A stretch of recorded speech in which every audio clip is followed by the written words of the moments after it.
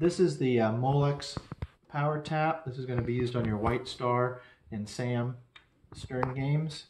Now in your game, you have a plug that's going to be hanging down like this. On our wire taps, we make it so when you plug this in, you'll still have an existing plug so you don't lose a plug.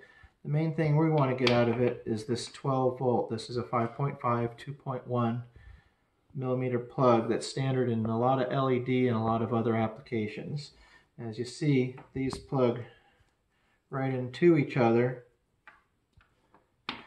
So you're going to be looking for this plug under here, under your shooter rod on the coin door. If you look there, it should be hanging there. If it's not hanging there, it might be tucked up up above and you might have to search for it a little bit. You might have to take off your, your glass and your play field to find it and pull it down, but it's there. Okay, there's with it plugged in and you can see you have the same plug that was there originally so you don't lose a plug but it gives you the power tap that we need for many of our mods. Here's a quick showing of seven mods that you can use your power tap for. This is a cord that comes with all the mods and this is just going to plug into there and all I'm doing is giving this uh, extension cord that I can work with. One of our favorite mods is what we call our pin spotlight. Plugs right in there.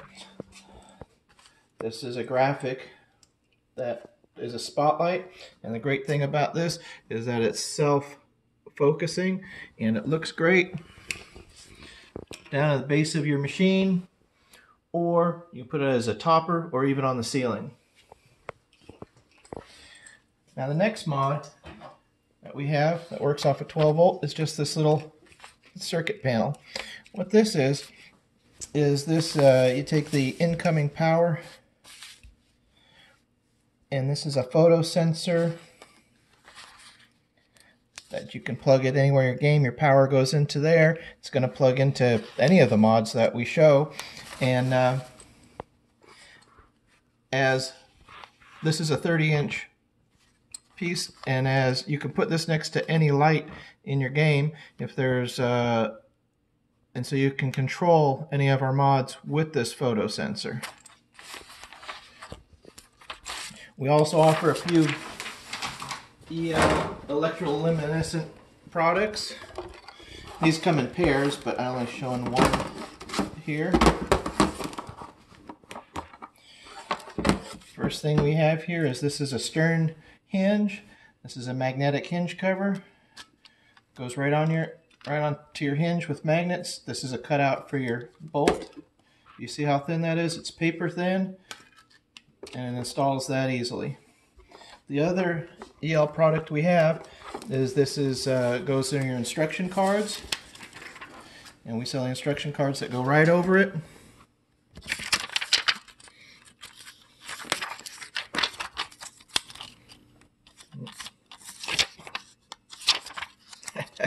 and if you pull back you can see that uh, and again this is paper thin so it goes right into your slot where your instruction cards go. Another product we have is lighted shooter covers. We have this for many products also.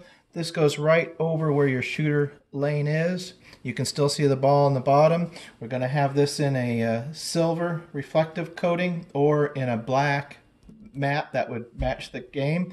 Now what's really cool about this is that the sides glow so you get a little bit of light off to the side, but it's not going to overpower any other light. Now, we do a lot of work with uh, speaker panels, lighted speaker panels. This is uh, for Tron. We have about 20 different wood game speaker panels. Mm. Isn't that beautiful? Of course, it's full function remote control. You can adjust the color, brightness, everything that you would want. There's off. There's on. This is for the wood paneled sterns.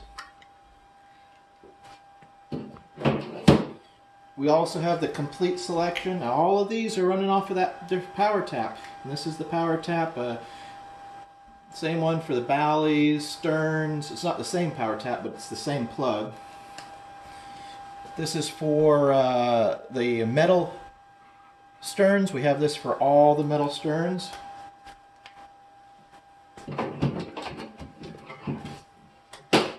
We started doing this with the Bally Williams. If you ever wanted to see what we call a naked board,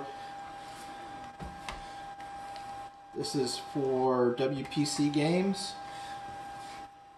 This is what it looks like. I'll turn that off if you can see it. Uh,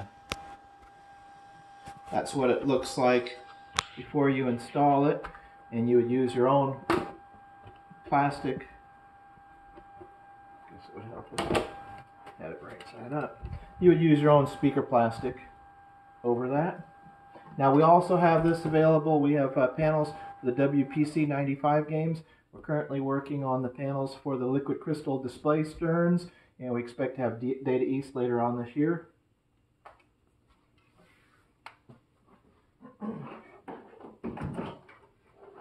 Something else that we're very proud of, works off the 12 volt, is speaker lights for Bally Williams games. These are using the stock speakers that come with your game.